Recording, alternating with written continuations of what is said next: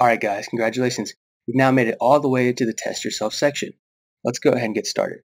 So in this vignette, we have a nine-year-old girl who recently came to the United States from Laos. She's complaining of persistent fatigue and joint pain after the resolution of what her mother described as a routine childhood cold. She has abnormal heart murmurs, although the pediatrician could not place a particular pathology to them.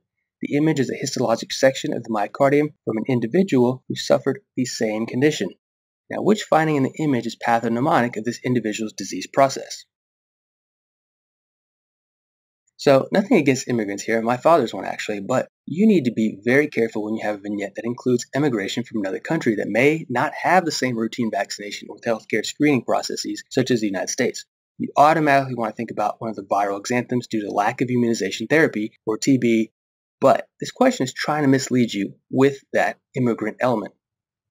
What is happening in this young Laotian girl is something that could happen in anyone in the United States that isn't properly treated with antibiotics following a group A beta hemolytic streptococcal pharyngitis. Now, if you know that she has acute rheumatic fever secondary to previous streptococcal infection, you aren't off the hook yet. We still need to be able to take the next step and remember the histology associated with the disease. So the image here shows us an Aschoff body, which is an area of interstitial inflammation characterized by fragmented collagen-containing Anitschkow cells, and also the multi nucleated Aschoff cells. Remember, Anitschkow cells and Aschoff cells compose an Aschoff body. With all of this in our mind, we know that the answer is going to be E, perivascular foci of fragmented collagen and giant cells. Now, you have to remember to diagnose rheumatic fever with the Jones criteria. Remember, the Jones criteria includes J for joints, the O in the shape of a heart for carditis, the N for the subcutaneous nodules, E for erythema marginatum, and S for the sydenham chorea. What about these other answers? Well, we know that answer A is not correct because granulomas are central areas of necrosis surrounded by macrophages, lymphocytes, and plasma cells. You see these bad boys in tuberculosis and sarcoid. Remember, sarcoid is characterized by non-caseating granulomas. We know it's not answer B because large lymphoid B cells with abundant pale cytoplasm and two lobulate nuclei with large nucleoli is describing the Reed-Sternberg cells Remember, the owl eye looking cells that are CD15 positive and 30 positive, these are classic for Hodgkin's lymphoma. This patient doesn't have any signs or symptoms of lymphoma. Now, foam cells are part of the atheromatous process, which are lipid-laden macrophages. That's definitely not the answer here. A starry sky pattern is a buzzword for Burkitt's lymphoma. So we obviously know that D is not the correct answer because macrophages scattered within a sheet of monotonous lymphoid cells is classically describing the starry sky pattern due to the lymphocytes surrounding an area of macrophages that have consumed tumor cells and tumor debris. Okay, here goes another test yourself question.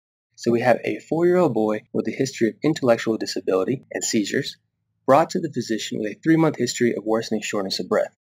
So during physical examination, the patient notices numerous acne-like papules on the patient's face. Echocardiogram shows significant left ventricular outflow tract obstruction. Which of the following is the most likely diagnosis for this patient's heart condition? Okay, this vignette is giving you some key descriptors including the mental retardation, aka intellectual disability, the seizures, the shortness of breath, acne papules on the face, and the decrease in left ventricular output due to obstruction. This is a classic presentation of someone with tuberous sclerosis. Tubers in the brain cause seizures and mental retardation. The acne on the face is actually what we call angiofibromas. We can see that here in this image. This has previously been called buzzwords that students look for called adenoma sebaceum. Do not expect to see anything like this on the exam. You have to be able to describe this as angiofibromas on the face. The key to the question is remembering the cardiac manifestations of tuberous sclerosis. Now we'll switch back, and the answer is obviously rhabdomyoma. Patients with tuberous sclerosis develop rhabdomyomas in their myocardium.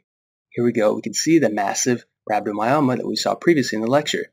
Remember, the protein tuberin is responsible for telling cardiomyocytes to stop growing. With a dysfunctioning tuberin protein, we get huge rhabdomyomas that can compete with left ventricular diastolic filling, and therefore there's decrease in left ventricular output. This causes the shortness of breath that this patient was talking about. Okay, guys, great job. Keep it up. Hope you do well in your step one exam.